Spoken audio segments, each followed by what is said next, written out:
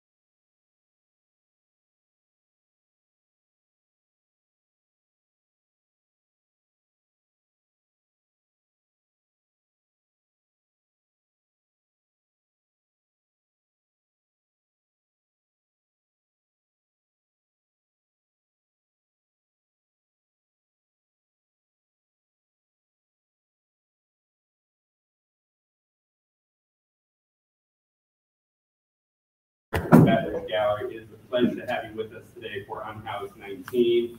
Uh, this is going to be a wonderful discussion.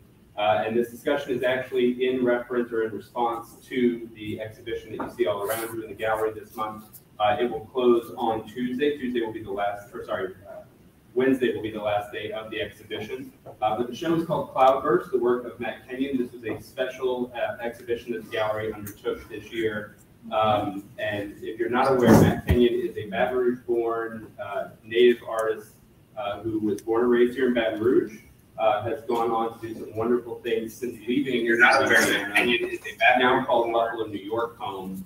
Uh, but he is a TED Fellow. He has been uh, had his work added to the permanent collection of the uh, Museum of Modern Art in New York City. Uh, so this was a really special treat for us to bring this show to Baton Rouge. Um, and today's panel will specifically be in response to one of the works that you see in the front gallery uh, called Lockset that, is, that deals with housing insecurity. So if you haven't had the chance to go through the show and see everything yet, please take some time uh, before you leave today to, to do exactly that. Uh, I want to say a quick word of thanks to all of our uh, sponsors for this exhibition who made this possible. Uh, first, Mayor President Sharon Weston Broome. I also want to thank Louisiana Travel, Covalent Logic, Dr. Compo, Blue Cross Blue Shield of Louisiana, John G. Turner and Jerry G. Fisher, Debbie Daniel, Entergy, Lynn Petit Pisto, and our partners for more than 30 years at Brad. So please, if you would, a round of applause for our exhibition sponsors. I also want to mention uh, a quick word of thanks for the LSU School of Art, who not only supported this exhibition, but also supported the exhibition catalog, uh, which are available in the front gallery. If you're interested in getting uh, your hands on one, it is a 52-page document that details every single piece in the show. It also has a statement from Matt Kenyon himself and from Benjamin Hickey, who is the curator at the Hilliard Museum of Art.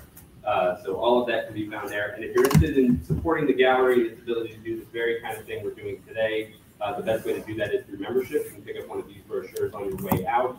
Uh, memberships start at five dollars a month and go up from there. But it's a great way to support both local artists and uh, a venue that has been home for local artists for more than 50 years. So with that, I'll say thank you again for coming. And I'm going to turn it over to our panelists and to. Please, a round of applause for our panelists.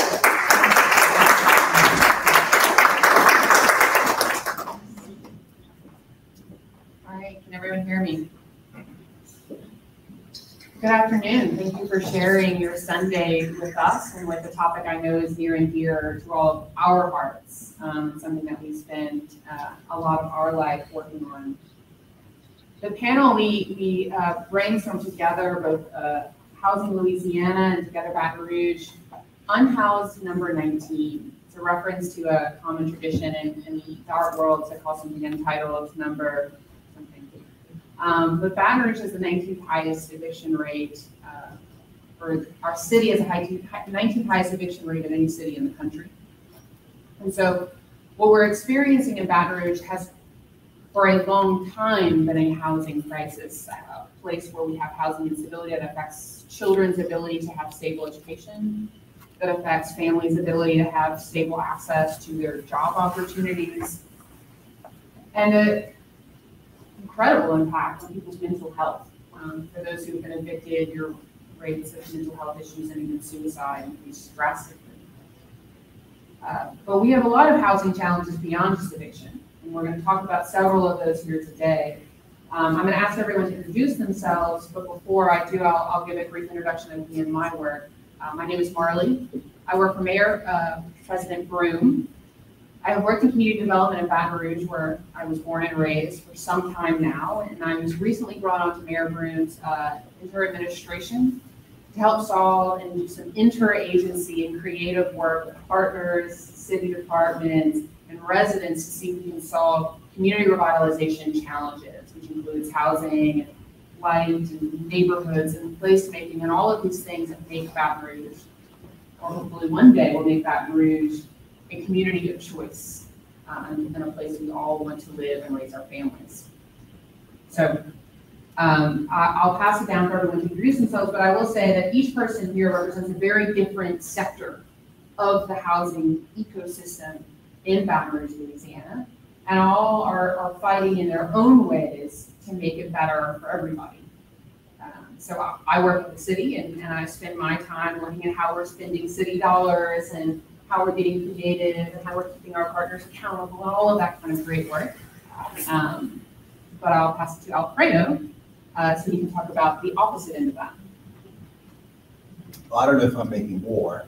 I'm always trying to make peace and, and maybe connect the dots. Um, I'm Alfredo Cruz. I work with two organizations, Housing Louisiana, which is a statewide network of housing alliances that champion affordable housing for everyone in Louisiana. And I also work with a local housing alliance, Housing First Alliance, um, uh, which launched two years ago a process to develop a housing market segmentation study. I'll talk about it in a few minutes. Um, so that's the bulk of my work, but my background is in philanthropy. I worked for 22 years for national and statewide foundations. Actually, I came to Louisiana to help solve the housing crisis. Got a bit distracted with philanthropy for some time, but I'm back in the game. Nice to be here. Thank you so much. Good afternoon, everybody. My name is Laura Tuggle. I'm the director at Southeast Louisiana Legal Services. We're the largest nonprofit legal aid provider, providing pre-legal help to low-income people in civil cases. So you may wonder what I'm doing at this table.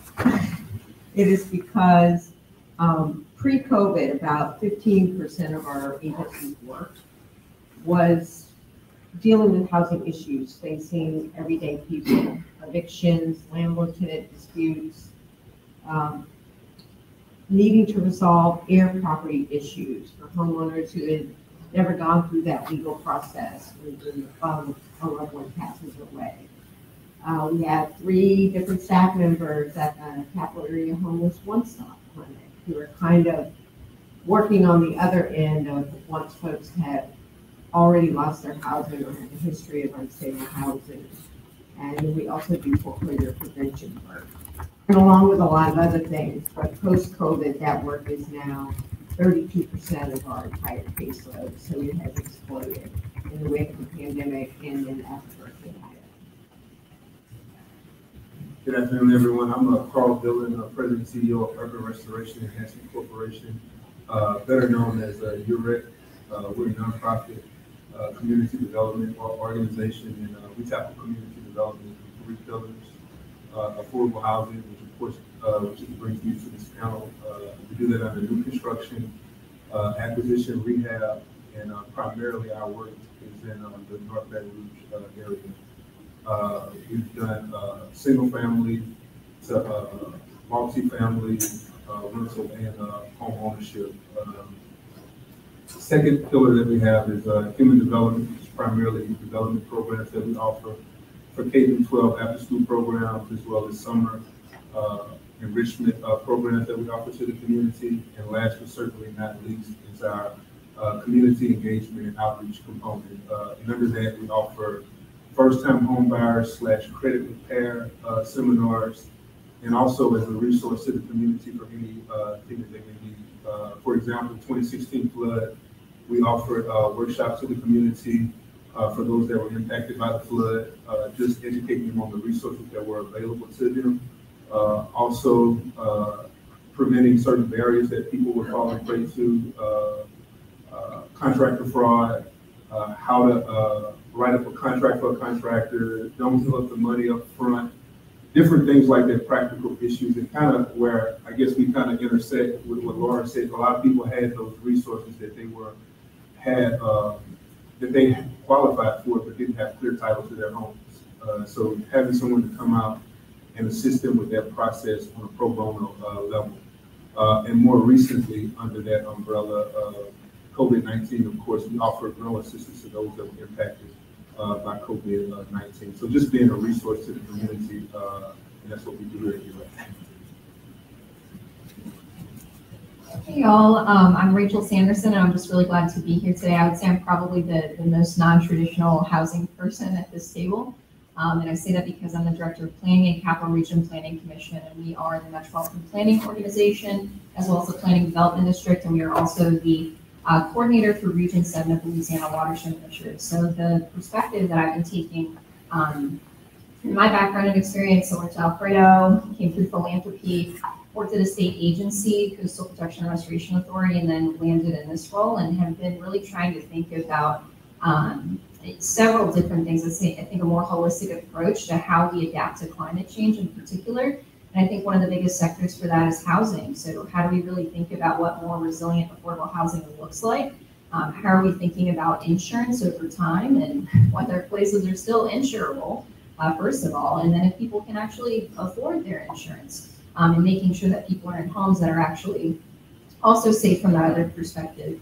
Um, you know, then I think the last two weeks alone, we've had six pretty significant rainfall events across the United States that have resulted in significant flooding. Uh, not to mention the heat waves across Europe, and it's the impacts of climate change are, are real, and we're experiencing them. And Louisiana is extraordinarily vulnerable. We think about population migration, uh, both just as a result of different um, life decisions that people make. And so Dr. Thomas Douthat is in the audience here. He's on one of those projects where we're uh, exploring population migration. The data center is leading that.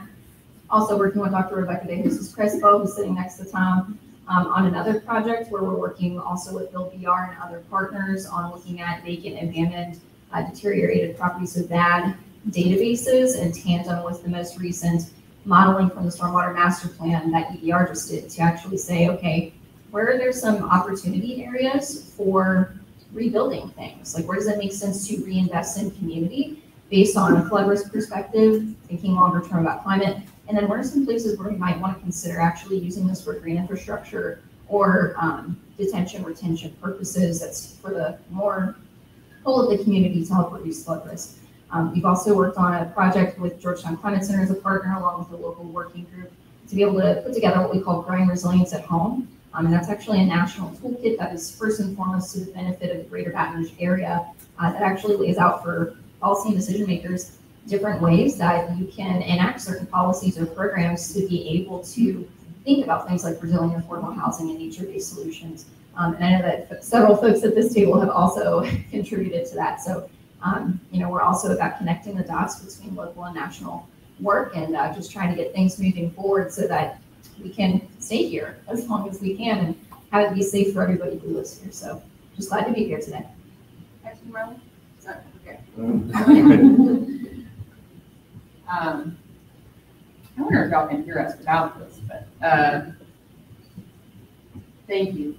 Uh, as you can see, there are a lot of different experts on this issue who can kind of come at this from different angles, which I, which I hope will lead to a really organic conversation between all of us, and we're not gonna be waiting for you to ask a bunch of questions. Um, so the first question I, I want to ask here today uh, is, so the, the art exhibit itself is, is really moving for those who haven't really gotten to, it, but particularly the one with the housing and the water and the, and the champagne glasses of celebration. So climate change is going to affect our, our housing portfolio. We are all dealing with issues because of the last kind of large crisis to affect our community, which is the pandemic. It's affected eviction rates, which are now soaring. It's affected, you know, housing cost prices, inflation and construction, I'm sure is absolutely wild. But as we, as we, so first my question is, is what are you doing to help uh, Baton Rouge address the challenges around housing that have been because of COVID-19? And then also, what is the long-term strategies for how we address flooding and resiliency needs in how we're responding to the current crisis COVID-19? first. You you can pass it whomever you like. Um, So I guess that, you know, the reason I came here, I, I have to explain that part. um, Because it, it, it explains a lot what I'm, why I'm still here and doing what I'm doing. It's like, I'm, I'm from a country, Nicaragua, that's surrounded by water. And it's also tremendously impacted by climate change, and has been since I was a kid. You know, the nineteen, um, the 1971 earthquake, a child, that destroyed Managua and caused my family to move to a uh, countryside. Um, There was part of that shift, that climate change that started many years ago and continues. And I mean, I've gone back to Nicaragua recently, in the last four years, and see where you know, they started building subdivisions that are now underwater. Literally, the ocean has moved into places where, you know, developers started building communities for, for, um, mainly Americans that are looking for cheap places to retire, to buy property, and that went really, literally underwater. right? Um, and when I saw that, I realized, you know, there's a lot to work to do here Nicaragua to help plan for that kind of change. And so when I finished my graduate work in urban planning for developing countries, I started looking for a place where I could work to practice that. And Louisiana was that place because it was both impacted by Katrina at the time, this is 2011 when I moved here, but also a lot of the quality of life indicators here are very similar to a third world country are. Poverty rates, infant mortality, you know, a lot of those things. Sadly, but it's true. And so I thought this was a great place for me to practice what exactly what I wanted to do in Nicaragua. And, you know, nothing's gotten better. Things have gotten worse. And so what I spend my time doing now is just really trying to connect resources that exist. Because, I've worked in philanthropy most of my career. I know that money's not an issue, that money exists to solve for a lot of these problems. It's just connecting the resources to the root causes, you know, and we, we continue to connect resources to all these side effects that don't get to the root causes. You know, and, and, and I, I, I give you, for example, the most recent emergency rental assistance program you know, which we're, we're starting to learn across the entire country what a big flop that was, realistically, because it was a band-aid approach, never really solved the core reasons why people were falling behind in rent. Know, It just paid for arrears, but it didn't solve for the core cost, nor did it provide a lot of support services family time. So, you know, I spend a lot of my time to help solve for this, connecting the dots, connecting resources to um, solutions that could address the root causes of poverty and circumstances um, of low-income families to help solve for their housing stability.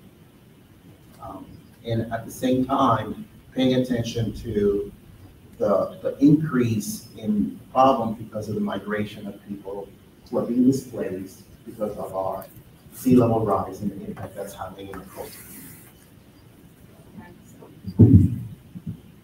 The moderator, I'm gonna take a point of privilege. I did want to say something about that, and then I, then I do want to hear about your COVID-19 response, um, and it's, and our long-term climate strategy. So emergency rental assistance is a national program, and, and we have one here. Baton actually got more dollars to low-income residents faster than pretty much any city, so it's actually, on some level, quite successful. But I do think nationally, they are looking at that program. And future emergency rental assistance dollars are gonna have a lot more flexibility in how we actually look at, at those root causes. And the root cause, right, your, your Housing First Alliance rep here, have, addressing people's housing enables them to address all of the other poverty issues that affect, that face their life.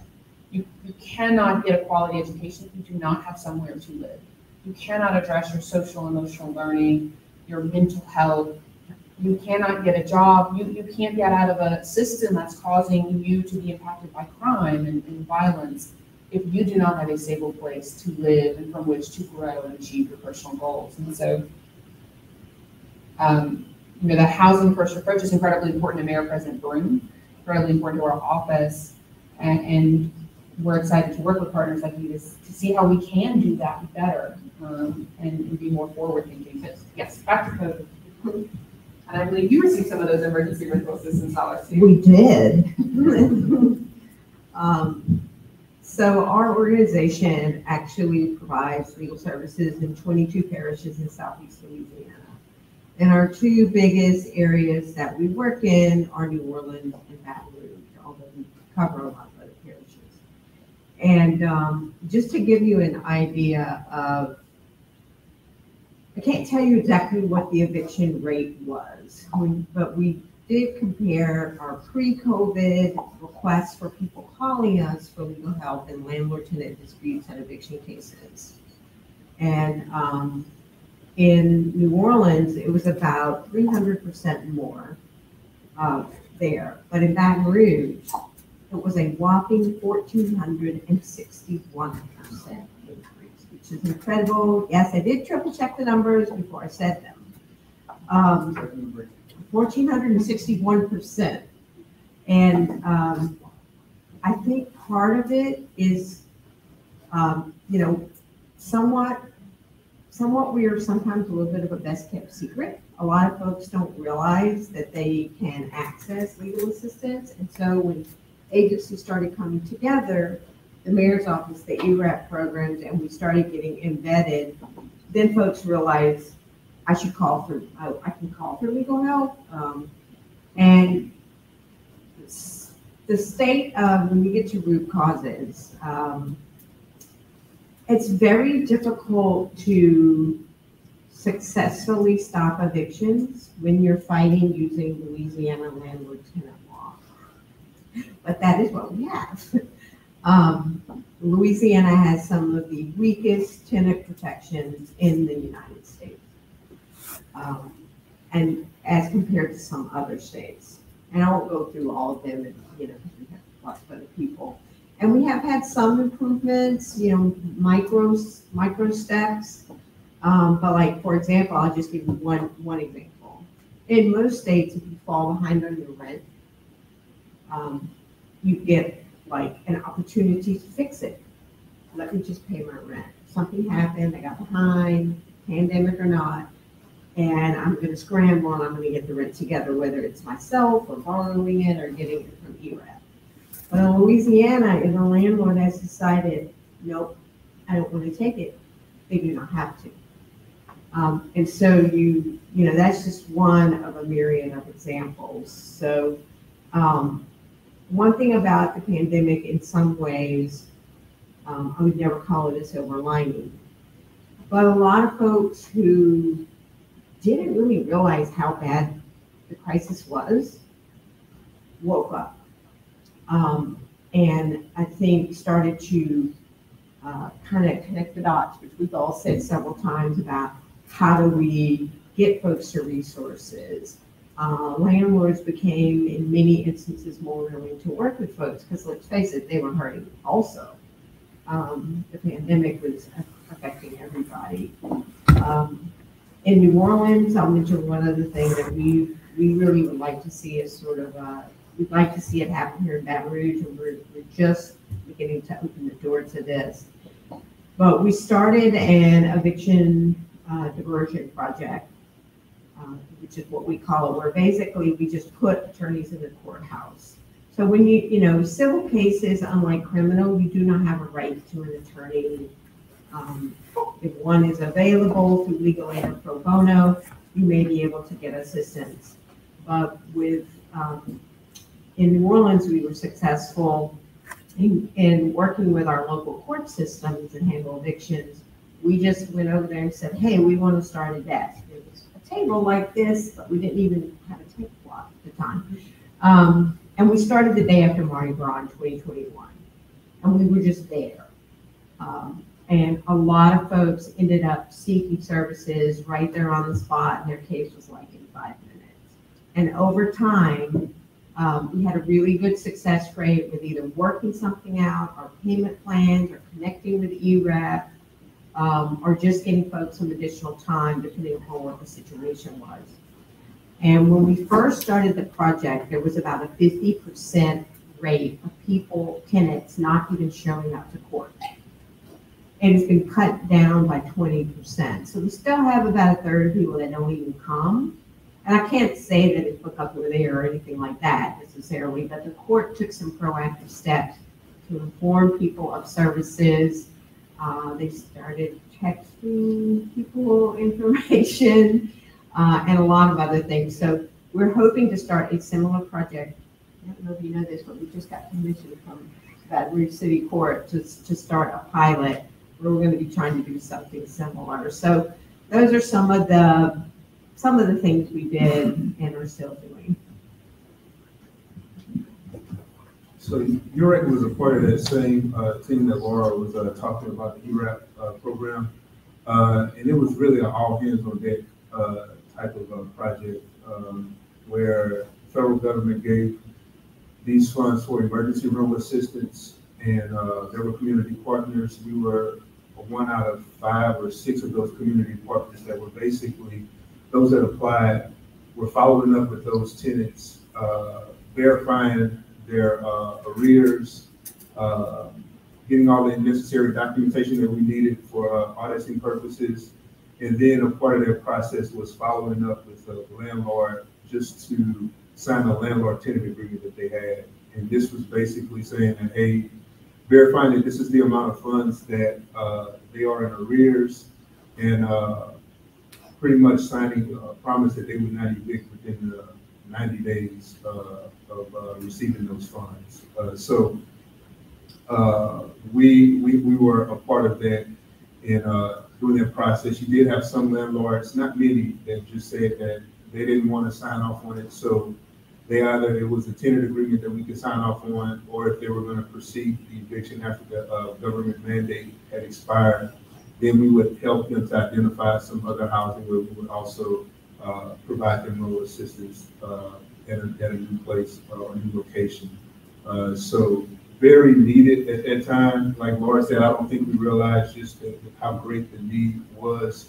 uh, But we were glad to be a part of it. I think, Marlee, didn't you have another question added to that that I probably could add some context to? Yeah, As far so- as the climate change? Yeah, so we're responding to COVID nineteen still, right? I mean, Yep. you're still seeing huge shi- shifts in people's housing. But we have a- an impending, another crisis down the line, and that is climate. And so how are we using this response to COVID nineteen? How are we remembering that long-term Yep. crisis that's coming for us? And how are we using the dollars that are coming to us today to prepare for that? Sure. So, and I, and I'll talk about that from our development, uh, perspective. Uh, costs have skyrocketed out of the roof. Lumber, uh, I'm told it's going down, but it's still not pre-pandemic, uh, levels. Uh, so just construction costs has dramatically increased. And of course, what happens when construction costs increase? That's when rents increase, that's when home prices increase. So, uh, those costs are in somewhat in a way passed down. So we are trying to, uh, the good thing about that is that some of these programs, federal programs that fund housing development, they are aware of those and have kind of raised some of those limits that they had in place, which has kind of helped us where we don't have to pass the buck, so to speak, to the uh, tenants and homeowners. Uh, one thing that we do, and we've done in the past with all of our projects, of course, insurance has, has increased dramatically as well. We try to identify projects that are not in a flood zone. Um, and that's just so that that can be an added cost where we're making housing affordable to those that we are renting to or to those that we are, uh, homeownership, uh, for. Uh, a second thing that we do is, and, and- and I, we've been hit by storms, by storms. Uh, you know, we're right in the, uh, was it Ida, Laura, a lot of hurricanes that we've had in the past five or so years.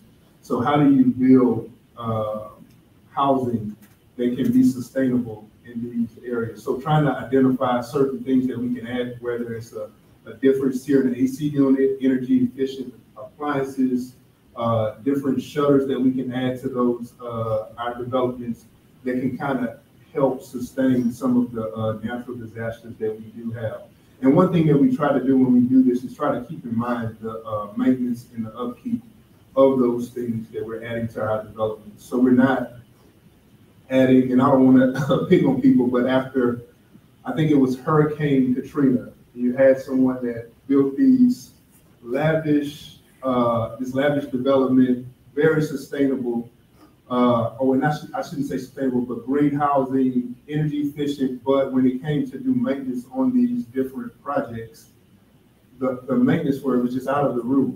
So, you know what I'm saying, trying to, uh, identify things that may not, uh, be a burden on people when it comes to doing preventative maintenance is something that we're looking, to take into consideration as well. I don't know if it's appropriate to ask a question, but I have a question. So does UREC, is it like the housing authority in that it's, it's building property and then renting it to people, or I don't understand, like you said, you're, tell me, I, I don't understand, so tell me how y'all house people, or tell me what. Sure. So we're a nonprofit developer. Okay. So you, you know, you have, you have for-profit developers that they'll, uh, uh, develop a, a property and rent it or, um, sell it to, to a potential buyer.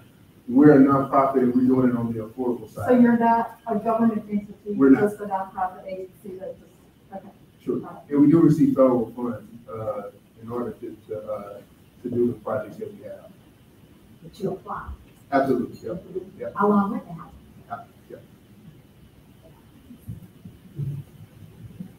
So I think whenever I was thinking a little bit about the connection, so full disclosure, my agency doesn't necessarily do anything with COVID-19 response. It's just, it's not our wheelhouse for regional government. So it's just, it hasn't been our place. But um, whenever I was really thinking about the connection between climate and COVID, I think there's an obvious thing where it was whenever, when everybody started saying how our greenhouse gas emissions reduced, et cetera, et cetera. But I was actually thinking a lot about the 2020 storm season um, and just 2020 in general, whatever it was, I think everybody kind of recognized this new space of safety where they could be at home. So you either recognize that your house was a really safe place to be in for a long time, for weeks, months at a time, or you recognize that it wasn't. And the gratitude that I had in that moment, and then I think with 2020, uh, coming into the storm season, really questioning that again, especially when we were at the peak of, of pandemic with these more, um, you know, I, I would say variants that had a lot more severe long-term implications for folks. Um, and just really thinking about, okay, what does it look like to evacuate to somebody's different place or shelter, et cetera, et cetera, while a pandemic exists? And then I don't think that I fully understood what safety in my housing meant until Ida last year. I live in Hammond and I was out of my house and, and we were very, very, very privileged. But I was out of my house for almost three weeks. We didn't have power for two weeks and have internet for 40 days and have been drinking water for two weeks. Um, and just I think like the amount of gratitude that I felt for having the privilege of access to safe housing, for being able to come back to my house. Um, for me, I think like that's that's one of the connections I'm making with COVID-19 in particular um, in that experience. And, and there's still people who aren't back in their house. And so I just think about that and what that looks like. Some of those people are people who live on my street, right? They've been out of their houses for a while, and those are people with access to resources, access to insurance, um, et cetera, et cetera. Like, and, and I know that down the bayou, especially, things are really hard. People left and they're not coming back. That happened after Ida. I think Lake Charles, there's still 2,000 unoccupied homes. That's a lot of people that just left. We saw that in Katrina. We see that after every single storm. Um, and some of those people actually live in my neighborhood because they left after Katrina and they moved to the North Shore. And so it's, it's that's just what's on my mind. But I think too in the in the longer term, and thinking about the resourcing that we have, I think I think the way that we spend our resources is only as good as the policies and codes that we have to enforce and make good on that public investment. And so whenever I think about these long-term challenges, I also think a lot about, okay, what can we do in, in our existing codes and ordinances that make sense? Like you mentioned now building that affordable housing in the floodplain, right? Like that should not be something that's even an option. Like why would we ever build affordable housing in the floodplain? Um, the, the burden that individuals face, whether that's from a, a multifamily unit after they fled or an individual um, situation, where, for example, in Slidell, um, person who runs the St. Tammany East Habitat for Humanity, has several Habitat for Humanity homes that have mostly been um, sold to low-income African-American families. And those same homes are now in a program through the state's Office of Community Development to be acquired because they're in such a high flood risk area. Right? And then that also begs the question of a levee that less than six miles away is building, is being uh, currently finished around an affluent white community. It's in the same jurisdiction. And so I think there's a lot of questions that we have to ask ourselves about the way that we spend our money, who we spend our money on, and then the different codes and ordinances that we have to be able to say where we build, what we build, how we build. Um, and I think that goes along too with these different building standards. So, you know, we saw that homes that were built after Katrina did really well. And Ida and Laura, all the storms after, and that's because, you know, our building code council actually adopted more stringent codes, which was really great. Um, but we also see that same building code council struggle with adopting a foot of freeboard, which is something that's pretty, uh, pretty standard actually. There's something through the National Flood Insurance Program called the Community Rating System. We have communities ranked from class ten to class uh, zero, I think is the highest score. So the lower the number, the better your score is, and the better your score is, the larger the, the reduction that you see in flood insurance premiums for your community. And so in order for you to get a class eight or higher, you have to have a foot of freeboard adopted. And so that's a very large political hurdle in a lot of communities across Louisiana. And so adopting it actually as a code within the state gives the opportunity for a lot more jurisdictions to be able to participate and be a higher class, getting flood insurance reductions for everybody else. So do, is it okay if I? I, just want to know what a foot of freeboard means, so you keep saying that like we all. Yeah, that means. I have no Great question. This is yeah, there you. So basically, whenever you build something and um, you're thinking about the amount, like the flood depth of water that you'll have. So let's say it's like ten feet, if you have a foot of freeboard, you just build a foot above that.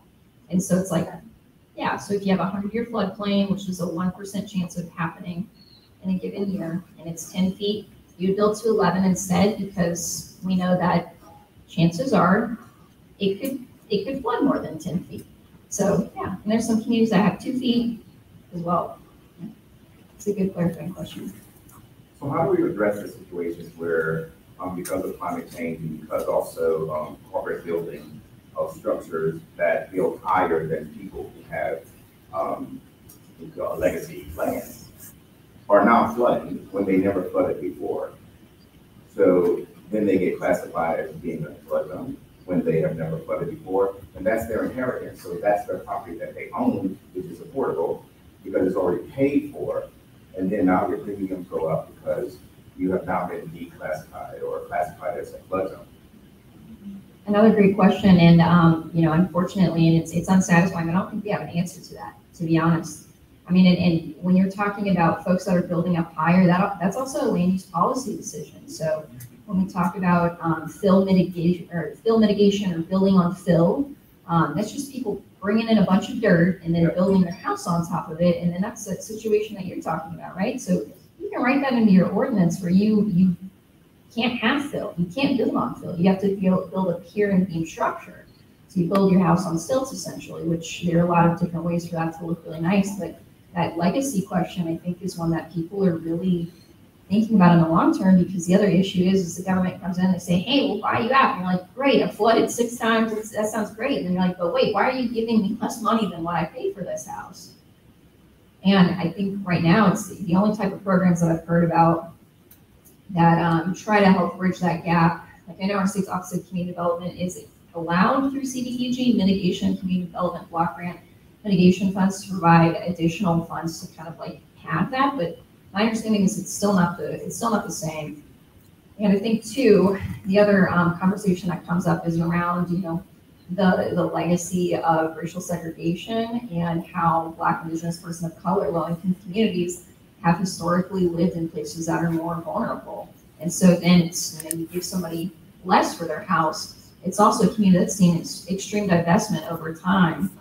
And so you're just compounding essentially this issue of, of this racial inequality gap that exists within communities. And so um, it's a good question. and I, I think that's open So with issues like that, it's, it just seems always like a common sense answer, which I agree with you when you first said it, just, it doesn't make any sense to build a house that is in a classified flood zone.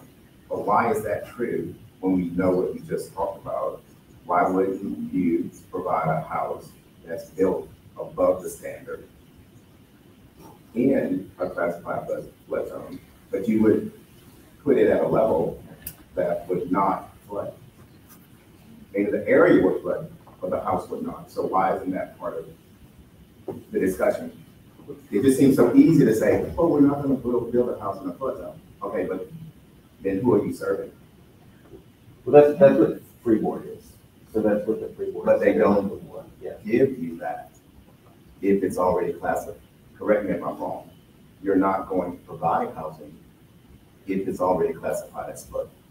I mean, look, we've already got houses in this neighborhood near us that they were Pier and Beam, and they got torn down and got rebuilt on fill and wood slab. So So that's, there's a, that's there's a blocks from here. contradiction. And that just happened. conflict. So I think that's a, if we're gonna let that happen, like, I mean, you know what I mean? I, I feel like you probably agree with this, so I don't wanna like, be yelling at you about it, but like, No, I no. think that's something actively happening now. Yeah, I don't know if my question gets you So, there. yeah. The question is just about, I can help out here. yeah.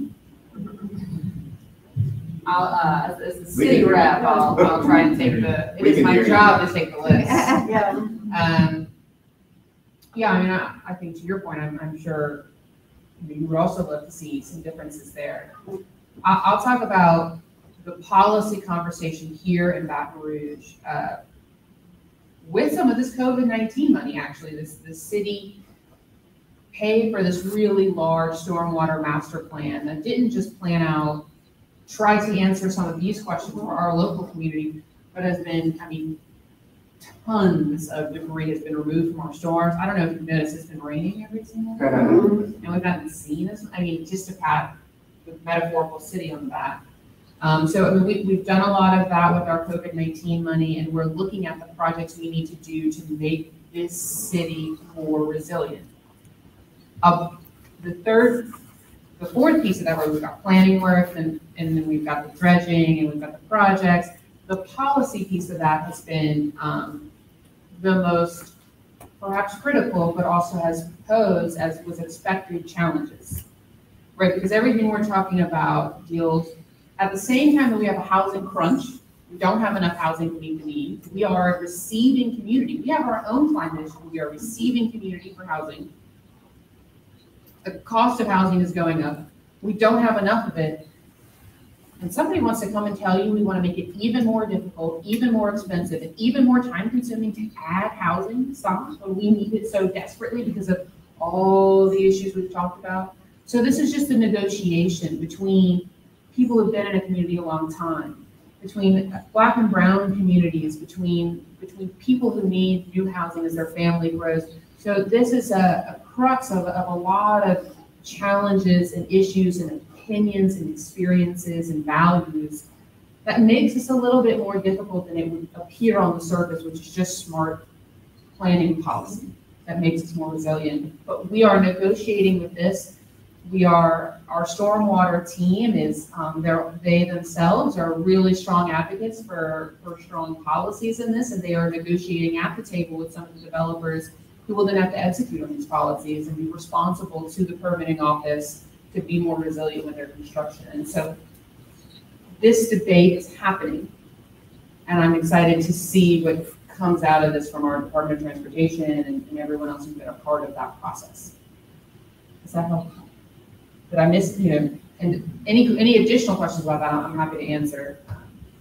I just want to throw something else in the mix, not, not to add to, you know, how difficult a question this is between planning and reality and then dealing with people that have needs.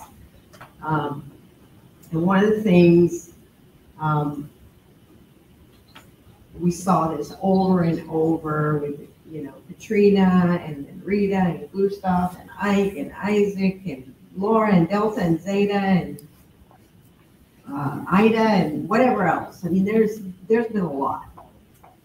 And, um, you know, when the rebuilding comes in, um, certainly those issues around racial inequities and, you know, how much things cost and, lower value neighborhoods and how much more it costs to rebuild and all those things come up. But another thing that we've seen quite a bit of um, is folks that are seniors or people living with disabilities. The higher you build, it's really hard to accommodate the needs of like our aging population and our population with special needs. Um, You know, we serve the Houma area too. And, you know, you see these houses in Jefferson Parish, Lower Jefferson, and you'll see houses, you know, twelve feet up, sixteen feet up. Um, and when that little bitty elevator like thing breaks, they are stuck. Um, and so, you know, it's really tricky. I mean, any solution you get, there's always challenges, but I do think, you know, from a planning's perspective, perspective, knowing that we have this aging population also, you know, really kind of throws another wrench in the plans of what's already extremely complicated. And I even, I want to throw out to Carl real quick. We talked about not allowing affordable housing in floodplains. I mean, that feels really common sense, but you can talk about how challenging it is to find empty land that's not in a floodplain. That's It is. I mean, I, I think right now it's just difficult to find, find a plan, period. So when you add that layer to it, yeah, by all means, yes, it is, very difficult to, uh, to find. it. But I think it is a benefit to someone that's purchasing a home. We work with them, like I said, we do outreach as far as, uh, home buyer and credit repair seminars. And you have some people that may take a year to get their credit to where it needs to be. And their flood insurance policy on top of that layer, you know what I'm saying, can make a difference in them qualifying for a mortgage or them not qualifying for Well, can I say something about this? Sure, and then. So the, um, the negotiation you're talking about, you know, I think there are a lot of people living in poverty that are left out of that negotiation.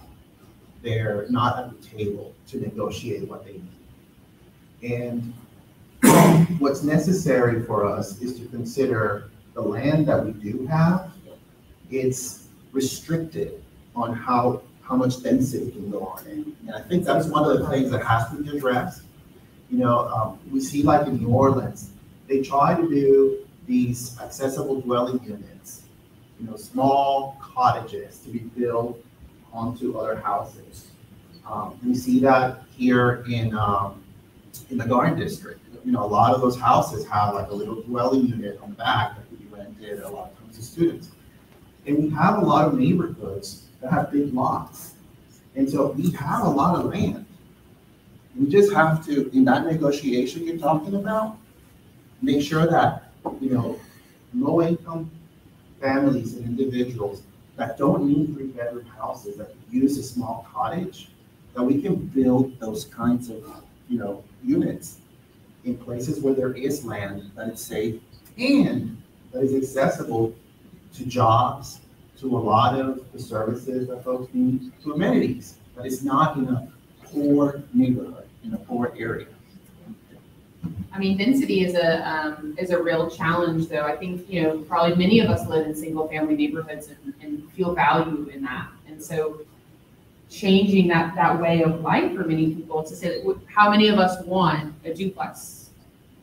I mean, how many of us want a single-family home to be torn down next to us and a duplex to be put up? I think that these are the tough challenges and questions we need to start asking ourselves as we look towards what does density and resiliency and affordability look like in our housing stock? Um, and I, back to your point, I don't think we have an answer on this. So, Ms. Oh, well, Ms. Pam, you had her hand raised. I was gonna suggest when Ms. Tuggle was talking, that how many of you remember the pattern books that all came out after Katrina? Mississippi was the first one to get one out. Baton Rouge, Brant underwrote it, and their pattern book. I still have it in my bookcase. The reason that it's important though is people who develop those pattern books as well, houses, houses. I mean, it was a reaction to how are we gonna recover? Look at what all has been destroyed. Mm-hmm. And people were very imaginative because we had lost so much. Anything was on the table, right? But we didn't really ever follow many patterns patterns. Again, I look at mine every once in a while. things for climate resiliency like building roofs more than just two feet out to create more shade. Building porches that were not on the side where the sun came. But even more interesting was in Vermilion Parish and in Cameron Parish. Why didn't you build, and of course, down to your concern about elevators, but they had plans where, um, homes were built, yeah, they weren't all four thousand, five thousand square feet. There were probably the time homes, Jennifer, and I've been interested in, but they were all raised with walkways and trees. And there were lifts and stairs and elevators, and you walked along the walkway until you got to your house. It's all common sense issues right there. I mean, in the pattern books, there's some ideas we need to be using now, but we didn't use them then because we weren't as desperate. Is there an issue with follow-up for you?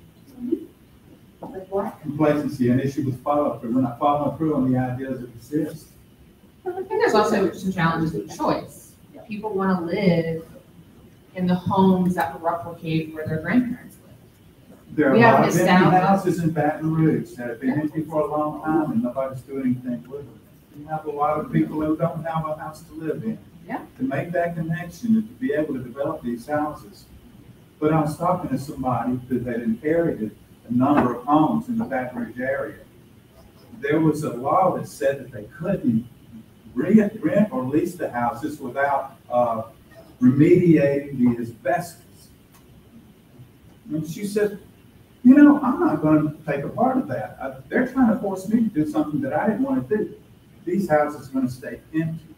The obstinance in that concept cost her money, but she was okay with that. And why couldn't we shape laws and regulations to say that if you're not gonna develop this property, then we're gonna take it into uh, consideration for developing it on- in our own terms. It's, So one thing I, I will say to, to have compassion, not particularly for that individual, but in general for those who are maintaining aging housing stock in our city. There are a lot of people who've inherited properties. It is incredibly difficult in this country to finance rehab. I don't know if any of you have tried to do that. Um, if you are trying to rehab under fifty thousand dollars, chances are you're paying it out of pocket in this country. Stats show us that. So how many of us are sitting around fifty thousand dollars? I, mean, I work, I work for the government, so I don't have that. So, and, and I, and I am still, you know, significantly more financially secure than many of the people, and many of the people who, whose homes are in these photographs. So to have empathy for the aging homes you see and, and why they're not, why they're sitting empty or why no one's doing anything with it, sometimes it's financing. Mhm. But in other, but sometimes it's not, right? And sometimes they're not owned by an individual who's struggling and they're owned by other entities. And so there are examples in other cities where you, property taxes are levied based off the value of the home. You let it sit in disrepute, can actually, it's capital gains write-off. There are policies that switch that. And that if you leave something vacant, it actually costs you. And so there are ways and recommendations that could be looked at. I don't know if we're looking at that holistically, but I do want to pass this to Alfredo to talk about, um, oh, yes. I'm That's okay. No, you seem so passionate about it, sorry. Um, because I do want this to be a comment, right, we, we are, housing sometimes can feel like this thing that somebody is doing, it's, it's, I think people talk about education more maybe. But actually, of all the social issues, in some way, every single person is touched by housing. And all of us have opinions about it, whether or not we know it or not. Um, and all of us are contributing to the framework of our housing challenges and solutions, so. um, actually Marlee, it, like, it's right there, it's like right there, like, we're talking about the blight, I think that's actually deeply intertwined with this. I lived, before I moved back here ten years ago, I lived in Montgomery County, Maryland, and I can tell you right now, property doesn't sit undeveloped, because the, the taxes on you, if you did that, like, would be, you would sell that property so fast, like, I, culturally though, we don't wanna pay taxes here, so we have very low taxes, and so there's not a lot of teeth, even if you know exactly how you would claim it, we got the pattern books, we got, we have like no, people are just gonna give them choice, right? And choices are made in the context of like, there's no pain. There's no pain, they can do exactly what you're describing. So there are forever. Of course there are. Other places do it, we just don't.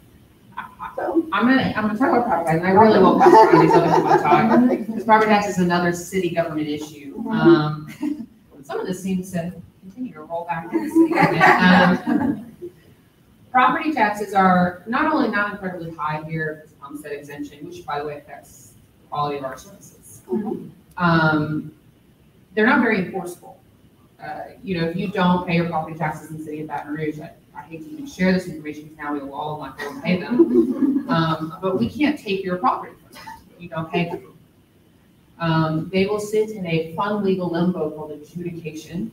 You may have heard this term, which basically means they sit with a debt, and it's the same debt like you don't pay Property taxes your internet bill. You don't pay your internet bill, Cox cannot foreclose on your home, and they will sit there with that debt, and if there's no creditor, creditor can come and bother you about it.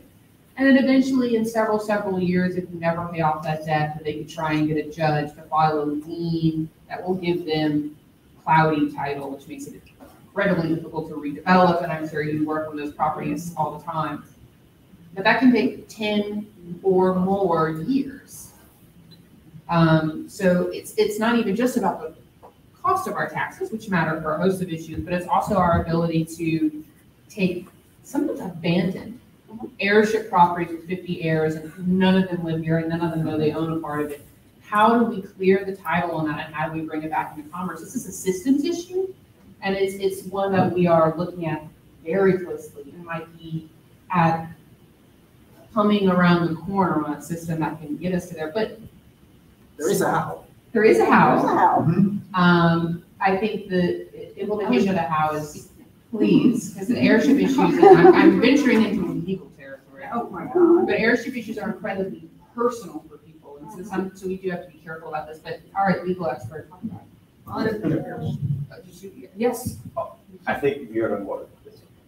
I don't know I don't know if it's the expert part, but I, I do know a little something about this. And so, you know, one of our lessons learned from prior disasters is really the importance of doing heir property work, title clearing work, succession work, probate, whatever you call it. It's really all the same thing.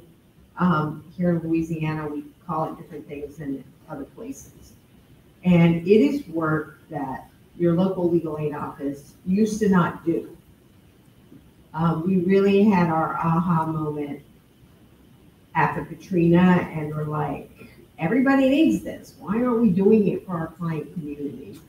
And, um, it was really had a basis in, um, looking at things like, oh, that's an asset, it might involve money, and maybe that's something a private bar should be doing. I wasn't the director then, but um, we really realized that, hey, this is work we have to be doing. You know, folks cannot afford sometimes even the fifteen dollars to get a death certificate, much less twenty-five hundred dollars to hire a private attorney. So we finally changed our thinking around that and, and, you know, we saw a bunch of national data and there's hundred and thirty-two legal aid organizations in the United States. And it, from two thousand six to like two thousand eight, our one office did twenty-five percent of all succession slash probate work of all legal aid organizations in the United States. And I think because of climate change and the prevalence of disasters, it's just become something that all legal aid organizations pretty much in kind of disaster prone areas now realize, hey, we have to do this. So um, the trick is making through community education or um, other novel ways of really getting folks to try to deal with the issue. Because right now, a lot of times, even when there is free resources to try to help, it's kind of not a problem till it's a problem, right? Till you get hit with that flood or you get hit with that disaster or, um, you know, somebody wants to redevelop stuff in your community and you say, yeah, I'll sell to you, and then you realize you can't. Um, so we're, we're, we're keeping doing that work as part of our, we see that as a big part of resilience work. Um, and then one of our sister organizations, Louisiana Appleseed, they do a lot of legislative reform and policy work, and we work closely with them on this title clearing issues.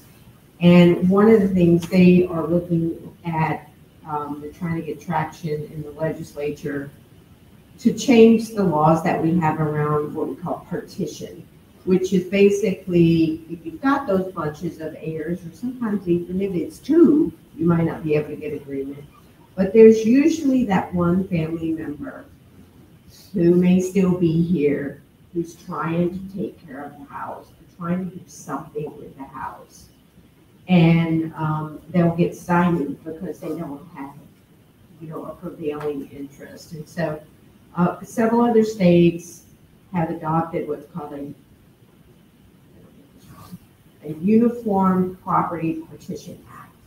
And so Louisiana is looking at that as a way to try to get a grip and um, be able to do something with properties to enable family members that um, are interested in taking care of property, the ability to kind of control those properties and to prevent other heirs from sort of being able to force them to sell. Um, so it, it's, it covers a lot of different things, um, but I know that that is something that we're kind of looking at, at the state level.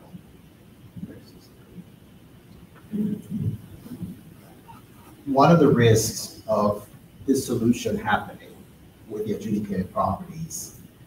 Is that, you know, we have these buyers from outside the state mm-hmm. that will just come in, you know, mm-hmm. buy up all these properties, right? And then what we end up doing is displacing a lot of the families that already live there and transforming these, you know, traditionally black neighborhoods, thriving neighborhoods, instead of like improving their conditions, improving accessibility for black and brown families to move in, displacing them. And so that, that's, that's what I fear, like, you know, this solution happens and very quickly, you know, unless we have a mechanism to have first right of refusal for local residents, you know, like, there's gotta be something in place to preserve who gets to buy those properties. Um, we will see that happen, because that's happened in New Orleans and a lot of other places, and and entire communities are being displaced. And, um, uh, priced out of neighborhoods where, you know, generations of families grew up. Um, I, I wanted to ask Rachel about what do you see your organization, what is your organization seeing in terms of migration? The- The, where people are moving to, because, you know, Marty used the term, we're receiving community. And so the implications of that for our future growth and who's moving here. And I wondered if you could address that in terms of like the, the shift of populations and what we're, what we should be expecting in terms of our growth. They say recently, like, change. the past but like, we- we were receiving more people from New Orleans and we're sending for the first time in generations? Make sure you get the train. Yeah, but yeah, and then, yeah, that's great. Um, yeah, that's, uh, spot on, Alfredo, and, and this idea of, of a receiving community, it's a, it's a place, this comes from, um, something called LA Safe, Louisiana Strategic Adaptations for Future Environments, which, um, I got to work on, Alfredo, I know you got to work on a little bit too, but it's some places that are higher and drier where you can think about more, den- more dense development that is safer, um, as well. And so when we look at those migration trends, we just look to the past right now because trying to forecast population migration into the future is really hard. um, it's just, it's not something that we um, have necessarily fine tuned. I would actually say like our climate projections are more reliable than our population projections uh, beyond a certain time period, probably like 10, 15, 20 years. They just don't get very reliable. Um, but what we've seen based on the data and then also the the anecdotes, like I- again, I think about the people who live in my neighborhood who left New Orleans after Katrina um, because they lost everything and they moved to the North Shore. There's stories like that in Baton Rouge and, and everywhere else. I mean, and even post 2016 floods, people moved my, neigh- my neighborhood because of that too. Um, so we know that people are moving to places that they think are higher and drier. Uh, we saw that after a lot of storms in the early 2000s, and then the floods of 2016 happened, and 56 of the 64 parishes in Louisiana had a federally declared disaster because of flooding. A lot of people moved to places that they thought they weren't gonna have to experience that again. Um, and so, you know, the mental health impacts of that, PTSD, people being really triggered, um, especially, you know, this time of year where, you know, tomorrow is anniversary day for quite a few storms, um, so people have that on their mind. Um, but yeah, it's just thinking about that, that migration pattern over time and allowing people to have choice and dignity, um, as they make those really hard decisions. Whether that's, you know, because of personal life they're, they can't go back to their home, maybe they can't afford it. Um, and so when we're thinking about that population migration, I think again, for us, that ties back to, um, policy in a lot of ways. It's, you know, we talked about de- more dense development, so are we actually allowing that where people can live? Um, do we have particular, um, ordinances or zoning that is restrictive for multifamily housing? What does that look like? Um, you know, and it's, uh, people have a, have a squeeze right now for housing and trying to find a place to live. And so it's really tough. And I know a lot of local jurisdictions are trying to figure out how they balance, um, a lot of different things like their aging housing stock that maybe like you mentioned um, earlier, sir, it used to flood, but now does. That's a whole different issue that they've got to deal with that they've never dealt with before, on top of trying to accommodate for all these people that are moving there. Um, and I think that the way that we've thought about letting development drive that also relates back to a lot of the work that my organization does, which is around um, transportation. So the way that you actually get subdivisions to happen is you get a permit for that, and then they build a road, and they build a road, they build a road before they build their houses. Um, and so what happens is that becomes something that is, um, it's, it's essentially subsidized cost that the community then takes on, where they then, then build single-family homes, um, that then actually means that, okay, now they need a grocery store, now they need a school, now they need a fire department, all these other things. Right, you see that on, um, certainly further down south of Lapeers here, LA twenty-two, a lot of different um, roads that we've built where maybe, you know, people, our ancestors especially, knew maybe you shouldn't necessarily live there unless you built your house on stilts. Uh, but we started to do that anyways, and that's in part to meet a need. Um, on the other end of the spectrum, there's also relocating communities, and they have a lot of really challenging, um, I would say, conversations to think about that are, that are actually happening in them now. So Plaquemines Parish, for example, um, their tax base after Katrina was demolished. And then they had the oil bust that happened not long after that, and then the Deepwater Horizon spill. And, you know, there were a lot of conversations where they couldn't even figure out how to cut their grass.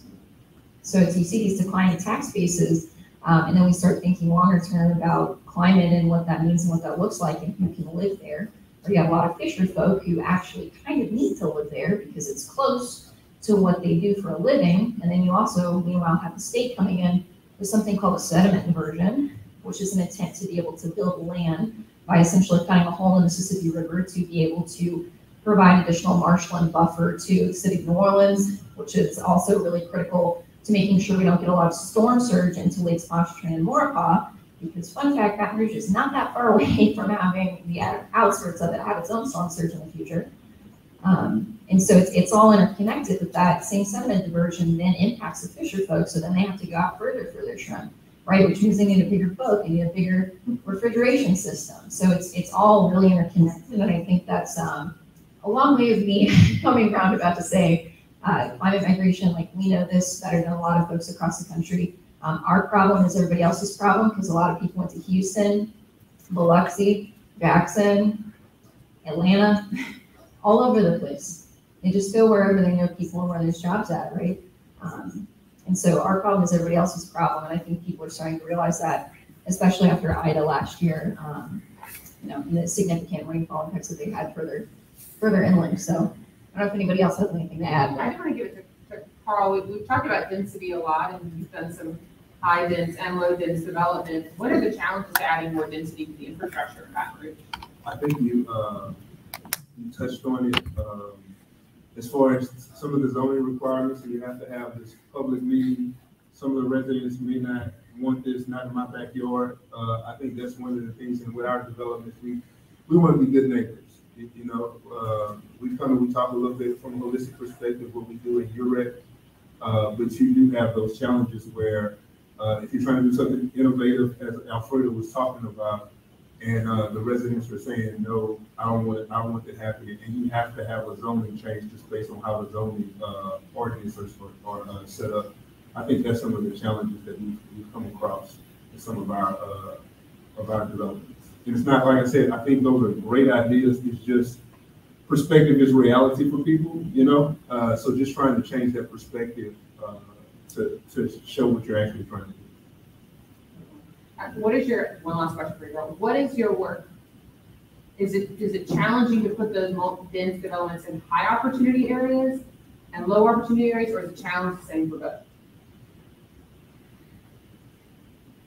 I would say both. I think it's, it's kind of goes hand in hand. Um, yeah, I would say both. It's Uh, challenging Mark, across the city? Yep. So None of us like. Can I just put on one, I- my comment was sort of based on that, it, it, so, in our neighborhood, we live in the Garden District, right? The minimum lot size for the zoning area is bigger than the average lot, which is about twenty-five by hundred twenty-five, and it's twice the size of that. Um, it's not set up to be able to build, um, like, use or back thing apartment, it's, and, and there's this whole idea of, I think we need to challenge a little bit, you're saying, oh, accept some of those who want a duplex by your house, I don't think that's a legitimate, it's not me really as an academic saying that, but I know people express that. The single family veto is a major problem in terms of that. I think it needs to be addressed. And I want to plug a book, a really good one called Fixer Upper, um, that just came out. There's a recent podcast on the Instagram show on that. Um, they're talking about some of these things. And I didn't write it, but. But we had, we had an architect, he, he, we talked about that Garden District, how they were doing, uh, that same format that you were talking about, Alfredo, and I was like, in order for us to do this, we're gonna have to change zoning. We did something not too far from there, and the residents were basically balking at that particular development, so I knew it would be a challenge to go before them. That one there, we didn't have to get zoning changed, so we were fortunate, but this one here, I knew we would have to have zoning changes on there, and I, I, I knew it was gonna be a challenge for them. Well, I know currently you can build a accessible dwelling unit up to two hundred square feet without a permit in the city. And of course, it, it's, it's gotta be like a studio, not a living, Yes, know, that's what I was gonna say. I was like, you got space. excited and I said. no, not a living space. But, you know, but it's, it, it's the foundation, like you can build on that and then find where, you know, you, you can begin to experiment and, and just create a proof of concept. Because that's what we need. We just need to start doing this and, and develop proof of concept. Plus, you have this infrastructure bill that's going to, you know, create some opportunities to wine grow, to like really address all these reasons why people don't want it. People don't want it because they don't want more traffic. You know, they, they don't want more congestion, they don't, they don't want all these things that occur because we don't develop the right infrastructure for more density. And so if we have all this federal funding that's, that's gonna hit our communities, right? And we have this intention of increasing density in some areas, connect these things, because the money's there, right? Where it's coming. Yeah, it, it's coming, and, and it's for that purpose. Are we considering drainage uh, development from some of these federal fundings that are coming? Oh, I mean, probably even much to Alfredo's chagrin, we, we spent an incredible amount of the recent tranche of federal dollars on drainage and drainage infrastructure. I noticed So some most. hydrants on the road. Um, yeah, we, we've had private crews, city crews, it's, it has been a full court drainage press. that has tons and tons of things have been removed, projects are on the books, that's that stormwater master plan I mentioned earlier. You take any cars out of this trend? Uh, I have been told that We have the so variety, no cars, I, I even, I'm fast, but we have, we have pulled some, some surprising That was items out of our mouse drainage system. Go ahead, Sam. This seems to be a nasty question. But I'm gonna ask you anyway. So I keep reading in the newspaper, we're spending forty million dollars to clean ditches and storm drains. My first thought is, I thought we were already paying taxes to have this done. Exactly. How did it get there so badly? Yeah, Why haven't we been cleaning it out all along? So that's one question. I have a question. The next question is, after we spend the forty million, what are we, how are we gonna keep it clean then? such a good answer to this question. How was it planned? How was it planned? No, I, no, I- probably about two months ago, I would have had to sit here and kind of. Um, but, yeah.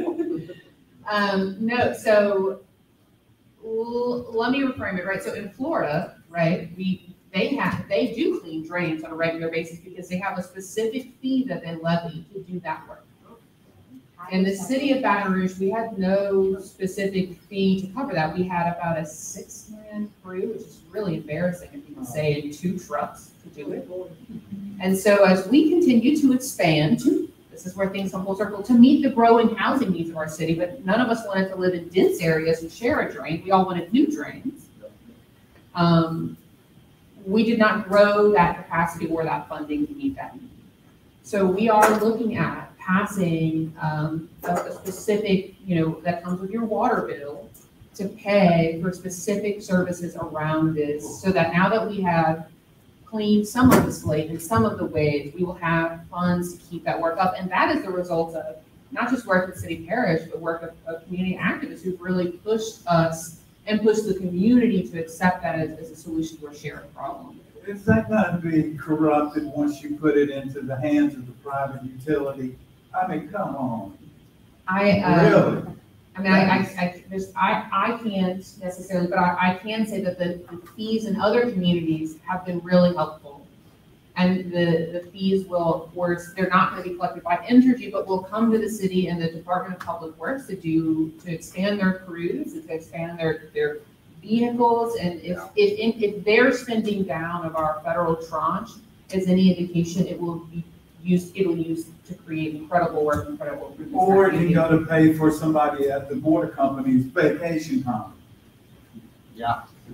That's, Yeah. that's, that's the crux of the issue right there, is when you put the money into the hands of corrupt people who aren't going to have to pay or to account for what happened to the money. And this has been going on a long time. That's why, like you said, we do, we did pass taxes for that drainage. And you still see even, and this is previous administrations, I love the Broome administration and the progress is finally being made. But we ride bicycles on the campus area and we see firsthand, those drains are plugged up to the grade. And we're being taxed for that already. It's, Yeah, it's, the, we don't have, we currently do not have a dedicated source of funds for that, but I think you are right. The drains are not where they need to be, and that- that's a- been a clear priority of, of the city. So so we're the hoping to Biden see, administration passes our solu, money for the solutions and now we're talking uh, already about putting it in the hands of corruption of the private. I, I can only speak, I mean, so it's not gonna be the private utilities. So the same how, uh, trash and everything is just collected and that, that's the way to do the collection, but it will be given to the city government to do the work that. It's not. But I, so I mean, we are talking about housing though, and I do need to bring us back to housing solutions. Sorry. Go- go Watch ahead. the money though. I mean, it's important, watch the money, because, you Yeah, know, but if, if y'all don't show up at those council meetings and you continue to let your council members just like, sure, you know, without questioning it, it's just gonna keep happening. Without networking, we're not gonna have anybody to come in and say, in, in, in mass enough, to say, we saw what you did. And we're here to say that these people that are supposed to be prosecuting you for corruption aren't doing it. And we're gonna hold, hold hold your feet to the fire. We just like, we're walking around blind as, as a community to this corruption. Yeah. So, I mean, I, go ahead, Ernie, you're- But I, I would say a lot of jurisdictions do it just stormwater fees, which uh-huh. maybe, which we might Yes. put that under the umbrella of, and they're administered with more or less success. But I Yes. mean, to the extent that we have any, you know, taxes, I think those that we have to have some minimum uh, trust in our government, you know, and give them the benefit of the doubt. Um, Trust but That was- But that verify. was what I was gonna say too. I wanted to ask y'all, because so much of this, we are getting very technocratic in these conversations. We know what the mechanisms are to change these things. What I gather, I don't think there's a matter of like knowing how to do it. This is cultural. So even things like believing when you buy, when you pay your taxes, that it will be used to do the things, that that's a culture. We have a deep cultural belief that our taxes will be wasted. We have a deep cultural belief that it's my property, I can do what I want. It's a moral wrong to take someone's house, even if it's been there for ten years and it's a, a hellhole and somebody could be, you know, fix it. No, that's like deep cultural things, right? Or, um, even like the blight, we were talking about the stuff in the storm drains, we, until you move away and come back, you don't realize, like, this place has a littering thing that is not normal. People just throw stuff, that is cultural. Like, that is some deep, so I guess that's my kind of question for y'all, like, I think we all know, like, everybody is really smart, and we actually know there's playbooks for this stuff, and there's pattern books, and there's like, how do we change the culture? To be a place that supports these things, that says people need safe housing, and they have a right to that, and we should do these things because they're moral goods. Yeah, I mean, I, I, that's, to me, that's something that I'm stuck on, like, I just wanna, I- and this isn't a housing answer, but Marie Constantine has done an amazing job, I think, of changing the culture concept of stop throwing stuff in the river. And I know she's been working on it for a long time. yeah. But it's been come to people's consciousness just in the past two or three years. And it's, so it's, uh, how do we do it? We, we pick your, pick your issue and be the voice. And, and, you know, she can't do it from the mayor's office. We've got to do it from here. So pick your issue and get a, get a bullhorn and, and She can buy, s- s- uh, street sweepers for the city. And operate like- She all that rubbish when you're watching it. But, but, but, but, but, but she can't keep sweeping up. If, if, if we could stop people from throwing their crap on the ground, she wouldn't need to send a street sweeper. And I guess somebody houses, you know, And the we're all garbage making trucks, you can do this though. And I was with, you know, Marie and Constantine and I had coffee many a days before she had an attraction. And the garbage trucks in Florida did a huge study on this. So garbage trucks who don't pull that little net back over the garbage, uh-huh. this is not rocket science. So it can't fly onto the interstate, and then we have a rain event, and the, all the trash goes down the storm drains into Capitol Lakes and into the Burden Center. The city can do something about that. Yeah, should they care about where you live? Yeah, I, I think, I think you're right, though. You're onto something here, because there is something you could do. Because residents sometimes just don't know that they shouldn't take that styrofoam, you know, cooler and just dump it on the corner, which I saw my neighbor do two days ago, and I was like, that's okay to do? You know, but it's like, there, there's no instruction, there's nothing on that bill, that utility bill that says, don't throw these things out. There really isn't. And, and even like when I got a new garbage bin, it doesn't come with any literature that educates somebody about what not to put in there, what not to put in the curb. And maybe if it does, it's once, but it needs to that be costs a more little money. repeatable. We have to pay a little bit in taxes to get that printed. And this is, this is connected to housing, because this is Yeah. how blight starts, you know, like, Yes. it blight starts this way, and it builds and builds, and suddenly the whole block looks It affects blighted. People's ability to build wells in their houses, Mhm. which, which is, have a long-term impact on all of the issues we talked about today.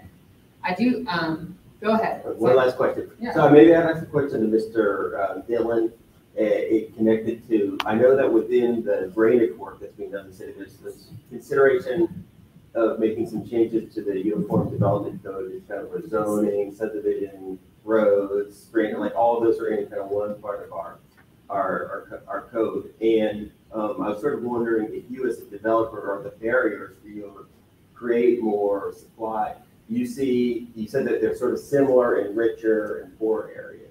And do you think there are small things that need to be tweaked in that code to make it cheaper and easier for you to build housing? Or do you think that sort of that redevelopment code for infill, the kind of work that you do, needs to be sort of rewritten? on a wholesale basis? I, think it's based on the density. I think there's certain, based on whatever that zoning is, you can put, um, so many units per acre, uh, and then kind of eliminate some of those things. And if you want to change that, then it has to go before a planning commission. There's a public hearing.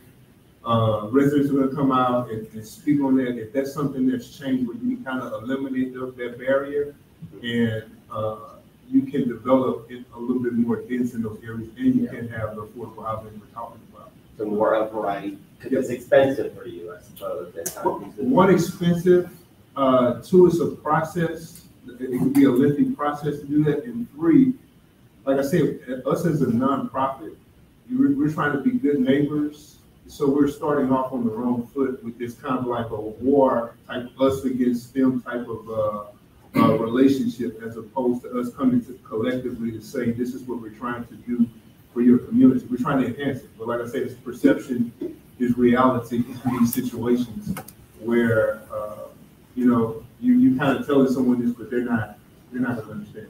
Because they're, they have their own fixed way of doing things. This is what they want.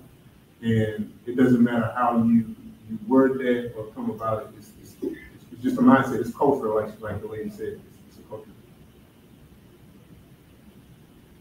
Somebody not in the room is Habitat, and they do redevelopment. Yeah. And I think Habitat has a proven model that works well, both in like increasing home ownership, but also in, you know, redeveloping and turning like a whole block around. Yeah. Because once they, they start redeveloping blighted properties, they also provide support for anybody else that wants to paint their house or fix it, you know, and then the whole block gets better. And once the block gets better, that neighborhood starts to really turn. You know, I've heard them talk about that one eighty approach that, that really shifts neighborhoods. And, you know, I just wonder if, if, if it isn't worthwhile to invest in that approach and invest in more of that. Because, um, they're doing redevelopment, but they're also a lender. You know, they're, they're also a financer. So they have like all the components you really need to help people uh, become homeowners and then help entire neighborhoods. You know, we talk about the low hanging fruit, right? The, the vacant adjudicated properties that, you know, we're gonna have a solution. And we really need, uh, local people to be able to buy those properties. And, you know, with a partnership with, with like, folks like Habitat that have that model, uh, I think we can see some progress. I mean, Habitat, UREC, Mid-City Redevelopment, they're all doing that community block model for revitalization. They're, they're trying to stack improvements next to each other, rehabs across from it, Yep. and then wraps community development services, whether that's everything from murals to like, to, to financial literacy, to homeownership and renters, and, right, so, so that's that area of focus, and, and I, I know, you know, y'all do a lot of that work too. Um, but I think even that, right, so Habitat, that's all single family, and so some of that, some of that's a little bit easier for them.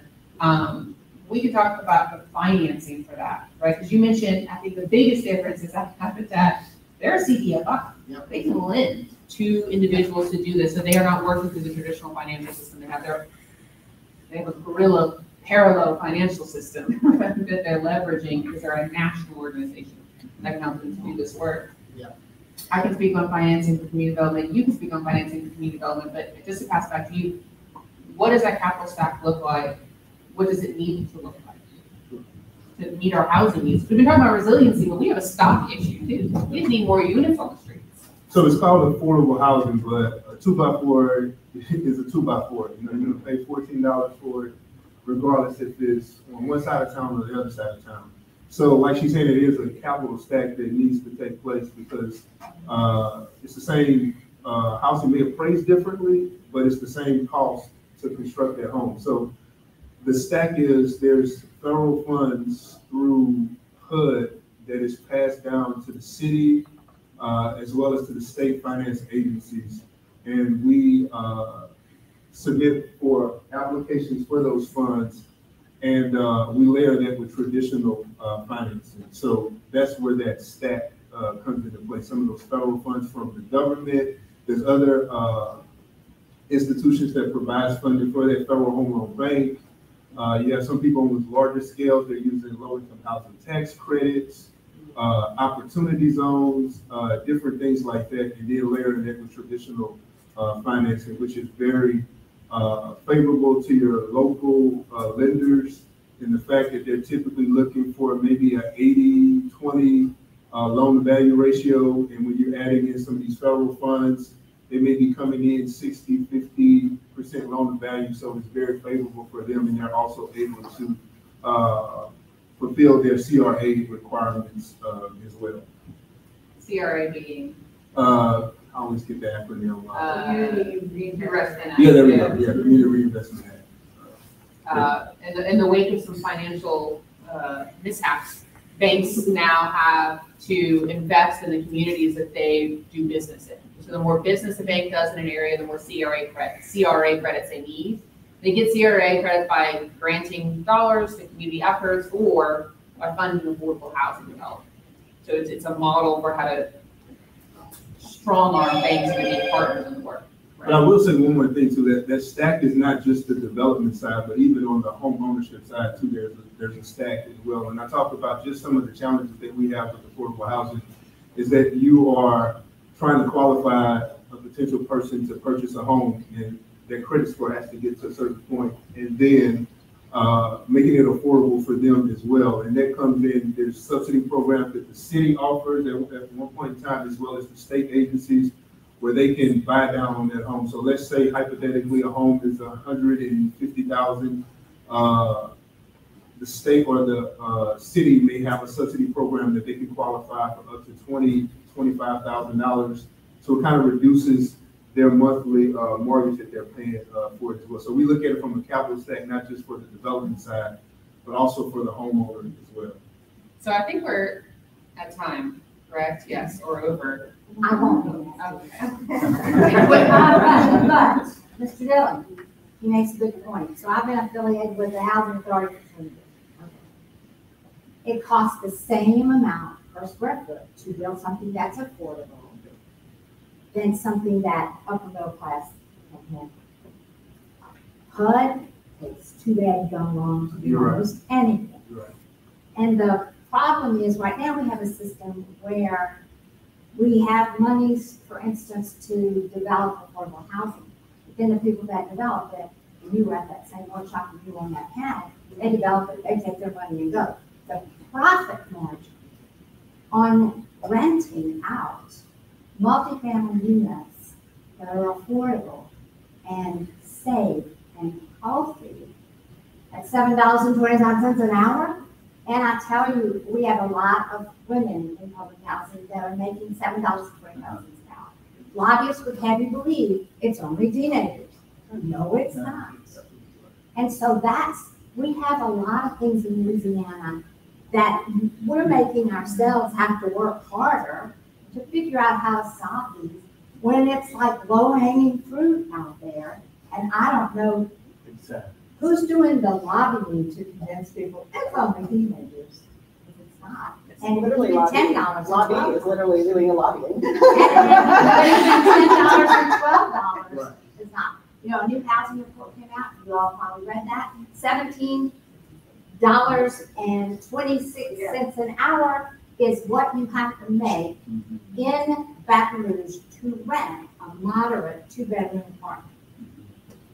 To be able to afford. Yes, yes, you're, good point, good point. So there are, you know, it's like, we all care, and we all need to figure out where we're gonna, where we can go first and take, again, the low hanging fruit, and then get some, some movement. Yes, ma'am. I'm getting old, you guys gotta You know, it'll be, it'll be my generation's problem. Um, you know, almost half of Baton Rouge residents are housing cost burden. I will add that for renters, that is as true in South Baton Rouge as it is in North Baton Rouge. So this is everyone's problems. Um, the issue we, issues we've talked about today, North Baton Rouge is more climate resilient than parts of South Baton Rouge. So, and the single family home issue, this is North Baton, so this is our problem. And we have to have a solution for it. So Jason's gonna kick me off. Um, But so the last thing I'll say is, uh, you know, the mayor's office's job really is to uplift the community solutions. So the last question I have is, is what is your solution to all of this? And give it to me in thirty seconds. Okay.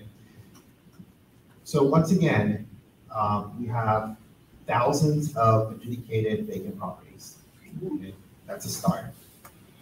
We need to make sure local people can buy them, not outside investors that would just transform that way neighborhoods. And, um, I want to say one thing about the staff. It's necessary. The CRA investments from banks, those institutions are also necessary, but we need an anchor institution strategy so that universities and hospitals that have already identified housing as one of the um, health indicators, you know, indicators of health, Every hospital in this city has indicated housing as a health indicator. invest in housing. So if we have vacant properties, uh, sort of like, you know, thousands of those that we can use, make sure local people can buy them and get those investors on board, I think we can do this. So thirty seconds or less, um, I'll just talk about what I know, and that is that the work that we do at the legal aid office is, has part of the solution of what we're talking about, you know, especially when you're talking about lower income communities, um, and other vulnerable communities. You know, what is that piece? We're talking about homeowners, um, a lot of times it is the heir property issues if we're talking about um, trying to prevent blight. A lot of times we'll find um, that someone will reach out to us and they may be facing a potential foreclosure, and then we do the work to try to get them back in good standing. And so when you when you start taking a deep dive into communities, uh, you're going to uncover a lot of different things that are going on, and um, we stand ready to assist as long as we can. Uh, and for my thirty seconds, I'll say, I think it's just a collective approach. I think the, the people that you have at this table, and then there's some others that, that are key, uh, to this. Of course, UREC can't do this, uh, by themselves, in the mayor's office, or no one here can do that, uh, just by their- themselves. I think it's a collective approach, and bringing the right people to the table to, uh, come up with that, that solution.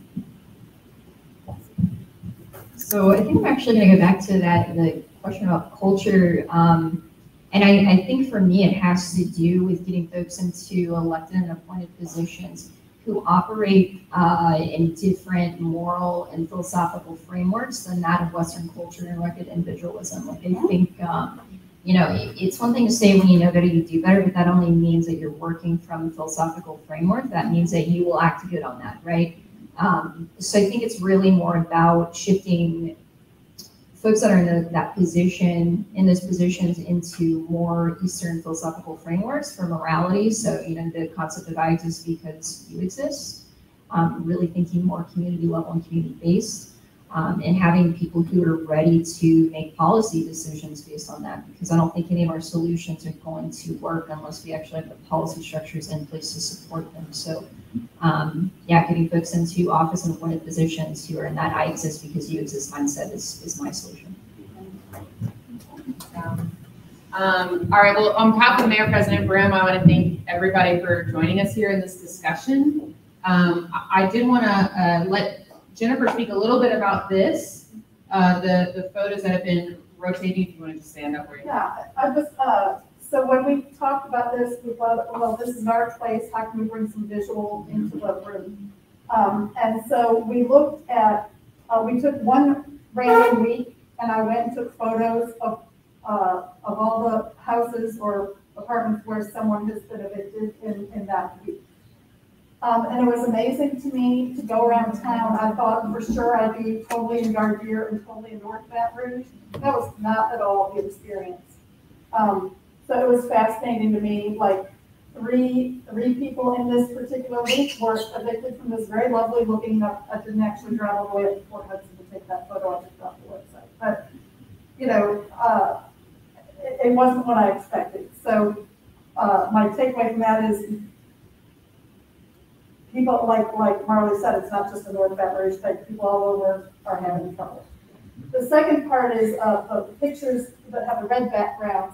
I went to one particular block area, and that's where I know that Habitat is working out the neighborhood concept. And I just drove up and down these streets. In this five block area, there were almost thirty vacant lots, half of which are not even being mowed properly. Like, one of the guys, as I drove up to take the photo, was like, have them do something about this shit, would you? And I was like, I'm doing my best. And I was like, so, um, so when we're talking about space and is there enough land, there, in that one, you know, five block area, there were thirty lots that we could develop on if title was clear and people would do it and whoever would buy it, and whoever would sell it. So it's gonna take, uh, so those are my two takeaways. Uh, and it was fascinating to go taking these photos because it got me into areas thinking about things, um, that, that we all need to be thinking about. Thank you, Jennifer. Thank you for doing also. Yeah. All right, well, thank you so much, and um, I I really appreciate you spending your Sunday on our passion projects. And I hope you wish us all uh, the best of luck, and we wish you all the best of luck in joining us and being a part of the solution. Stay engaged. Stay engaged, yeah.